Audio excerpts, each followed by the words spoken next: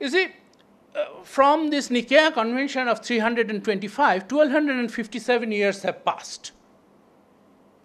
So the discrepancy have accumulated. This uh, per year discrepancy times 1257, that's 9.8 days. That's about 10 days. So in 1582, 4th of October was followed by 15th of October. First correct the mistake. Okay? And in fact, now in the internet, there are these uh, uh, beautiful sites called, uh, one, is, one of them is called timeanddate.com or maybe dateandtime.com, I can, I can never remember. But if you go there, you can give the name of a country and name of a year and, and can see the calendar. So go there and type Italy, 1582, October, you will see 1, 2, 3, 4, 15, 16. It's not advisable for little children who are learning their numbers. Okay? Uh, now there's a new rule to prevent future problem also. The new rule is that if the year is divisible by 100, according to Julius's rule, it should have been a leap year. But the new rule is that don't make it a leap year, let it pass another test. Now you see whether it's divisible by 400. And if it is, then make it a leap year. If it is not, then don't make it a leap year. So for example, 1700, 1800, 1900 should not be leap years. I have written two notes here. That much of emphasis was not necessary. That's a mistake. Okay. Um, uh, should not be leap years, but 2000 will be leap years. Okay. 1600 will be leap year. You see, this is a beautiful um, exercise in diplomacy. See, this was going on in 1582. So made, they made the rules such that 1600 is not affected. It's just like Julius's rule. The first change will be in 1700, 118 years from then. And of course, they will be at that time completely out of reach. Okay? So beautiful diplomacy, and it was done. So now the average length of the year after the reform is 365 plus consider a, a, cycle of 400 years. According to Julius, there would have been 100 leap years in this cycle, but now three of them have been removed by this rule. So 97 out of 400. So that's 365.2425 days. That's pretty close to 365.2422, but it's still not perfect. There's still a discrepancy of 0.0003 days per year, which means one day in 3,333 years roughly. Okay? So you can ask, of course, what are we going to do with that? And I don't know whether there has been any um, decision which has been taken on that, but I think the humankind has done something very clever to address this problem. They have started using the planet in a way that it doesn't last for 3000 years from now. In fact, probably even 300 years is a far cry. Okay? So this problem will not arise. You see, very clever. Now, what happened to the Gregorian calendar in 1582? The Catholic countries, Italy, France, Spain, Portugal, they adopted it immediately. They were directly under the Pope. 1583, Switzerland, Netherlands, 1584, Catholic Germany. Germany was not one country at that time. There was part of which Catholic and part Protestant. Martin Luther has already arrived on the scene. So the Catholic uh, Germany took it, but the Protestants didn't take. They said, oh, this came from the Pope. Pope is Catholic. Why should we take it? But more than 100 years later, in 1700, they realized that, well, okay, I mean, maybe this came from Pope, but this is something universal. So they accepted the reform. 1752, oh my God, the thing that you call English calendar. I have been talking about it for the last 20 minutes, and this is the first time the name of England came. It, the reform that happened in 1582, for 170 years they did not even look at the reform. After 170 years, they said, oh, okay, we should wake up.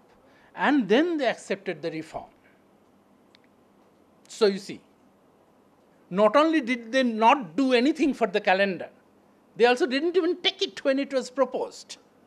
So if you say that this is an English calendar, then very well, you can find a, a, a, a store in Ludhiana and say that it's a Punjabi sweet. Fine, go ahead. Now, by 1752, the discrepancy has increased to 11 days because 1700 year has passed, which was different. So September 2nd was followed by 14th. So there are nice uh, mysteries based on this thing. For example, Newton's birthday. In some books, you will find it was 25th of December 1642. In some other books, you will find 5th of January 1643. And I happened to actually read both of these uh, dates when I was a very young child. And uh, of course, I, at that time, I thought that uh, such a great person should be allowed at least two birth dates. Okay. But then I realized when I grew older that that's not the case. 25th December was his birthday according to the calendar that was being used in England at that time. But had they corrected the calendar in due time, his birthday should have, should have been on the 5th of January of 1643. Okay?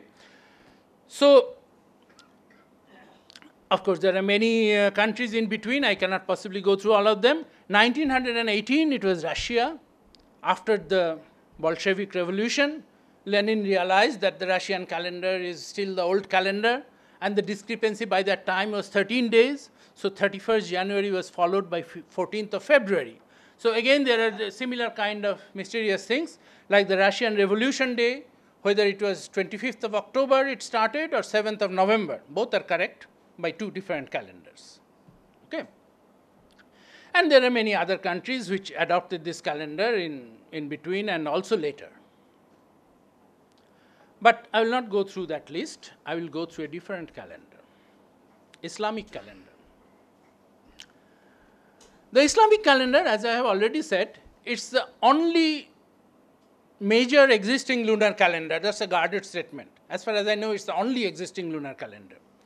The average length of the year is 12 synodic months, which is 12 times this 29.5306. So that's 354.3672 days. So individual years, of course, cannot be fractions. So it's either 354 days or 355 days. They have some rule of making that. So the difference with the solar year is 11 days. So this calendar actually moves by 11 days with respect to the seasonal cycle. Now, how does it move? Well, let us see the, the, the date of the Eid al-Fitr in the Gregorian calendar. In the Islamic calendar, Eid al-Fitr is at the end, after the end of the month of Ramadan. Ramadan is the Arabic word. In Persian, it's Ramzan. So we call it Ramjan.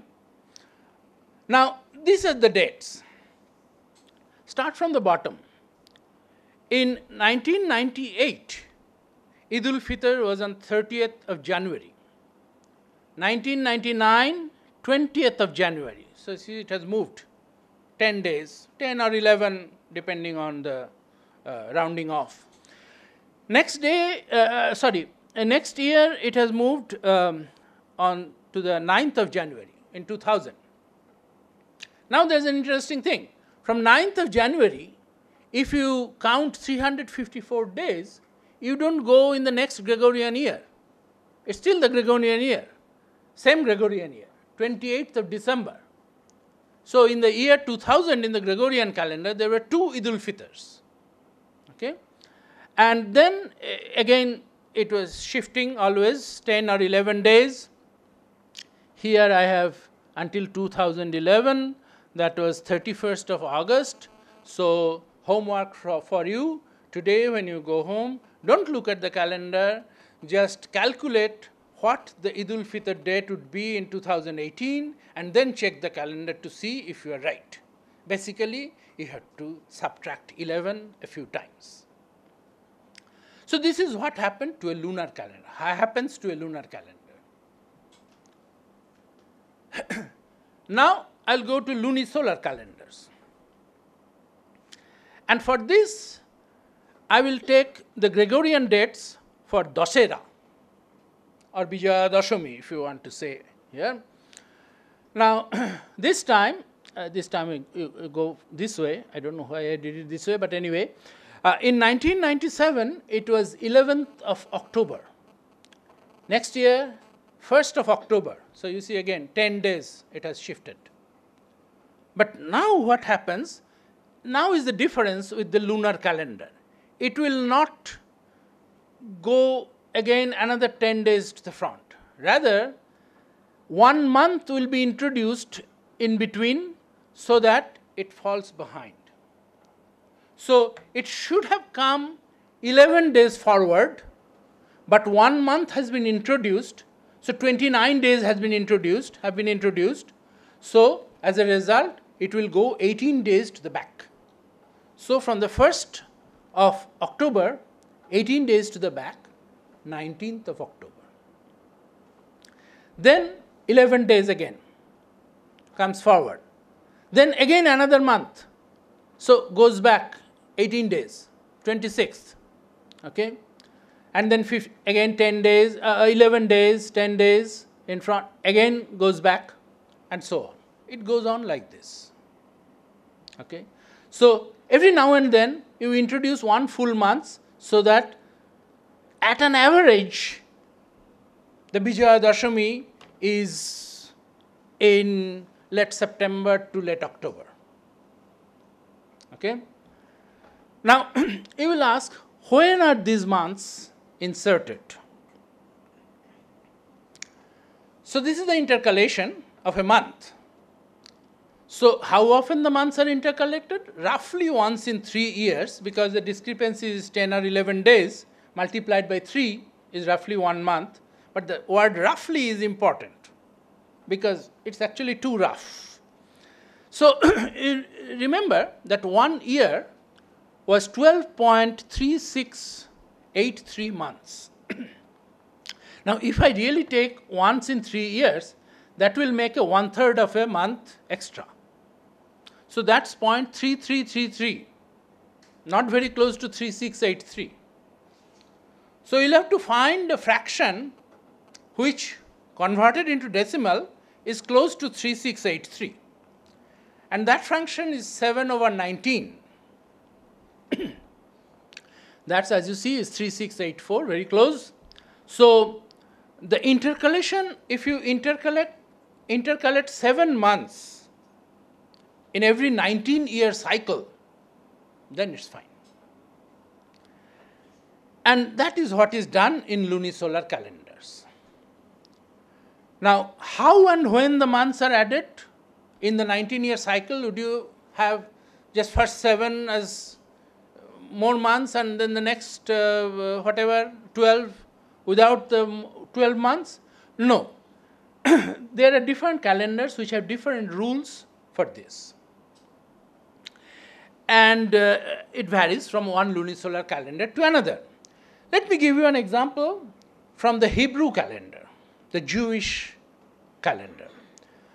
Uh, you see, the, uh, here is a 19 year cycle, 1 to 19. At the end of the first uh, year, there is so much of extra, 3683 months, and they do nothing. End of the second year, it doubles, they do nothing.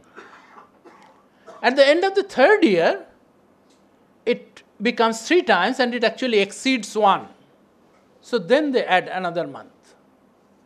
Okay? so that the excess is never very much. It's like spending from your bank account, at least when you are young, okay? You see, okay, I have to put some money in the bank account, but as soon as it exceeds 1000, okay, I go to the restaurant and spend 500, okay? So, so it's like that. Uh, and it goes on. So the third, sixth, eighth, uh, whatever, all the other ones. So the, there are uh, seven total in the 19 year cycle. That's how the calendar goes. You know, this was coming here. I have to talk about the Bengali calendar. The Bengali calendar is not a lunisolar calendar like the calendar of most parts of India. I have mentioned that in the beginning, but I want to emphasize it again. It's a solar calendar. Uh, it follows the calculations of uh, astronomical text, which is called the Surya Siddhanta. It was written in 6th century AD.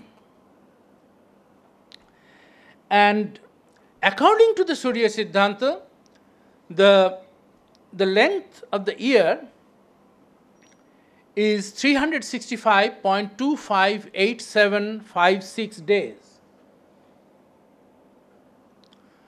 Uh, which is uh, 365 days, 6 hours, 12 minutes, etc., etc. So there's a discrepancy. You remember the, the other one was 5 hour, 48 minutes, something like that. So there's a discrepancy. And the discrepancy accumulates. What has it done to the Bengali calendar? See, the Bengali New Year's Day, which was supposed to be on the vernal equinox, that is on 21st of March, now, in these 1400 plus years since the Surya Siddhanta, this excess has accumulated to 23 days. And because of that, you count 23 days from the 21st of March, you will get 15th of April. That's when we have our new year. You will ask, who told you so? Maybe the cal calendar makers originally planned it to be on 15th of April. No. How can you plan to be something on 20 on 15th of April without having the Gregorian calendar with you? In order to fix something in your calendar, you need some astronomical phenomenon. The sun, the moon, something. You cannot say, okay, according to this other calendar, I will do it. That's copying. Okay? That's that's not done. So they did it on the on the vernal equinox, but it has shifted. And Rabindranath's birthday, Rabindranath himself has written his birthday was on 6th of March. I understand that he didn't, uh, 6th of May, I'm sorry, 6th of May. I understand, of course, that probably he didn't remember the, the event very well, okay? But at least the people in his family remembered, and he must have heard it from them, right? So it was 6th of May. But because 157 years have passed, this accumulation has amounted to 2.6 days. So we are now celebrating it roughly on the 8th of May. Another 100 years, it will be 10th of May, and so on, if no correction is, um, is made in the calendar. Now, why is this discrepancy? Well, first of all, at the time of Surya Siddhanta, that was uh, 6th century, of course, the calculations, the observations, none of these things were very refined at that time, and that is understandable. But this is not the main reason for the discrepancy. The main reason was that those people who authored Surya Siddhanta Aryabhatta was the main person. He did not take into account the precession of equinoxes. And having said that, I must explain to you what is the precession of equinoxes. What are the equinoxes? You see, this is a picture of the earth going around the sun.